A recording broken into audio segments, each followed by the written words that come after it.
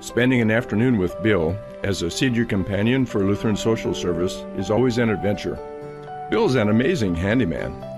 I'll give you an example. He just repaired the washer for the third time. I took him to the appliance store, and the service manager helped him order the right part. You know, his motto is if it's broke, fix it. Bill isn't able to drive anymore, and it makes me feel good that I'm helping him each week to get what he needs for making repairs around the house, something he really enjoys doing in his retirement years.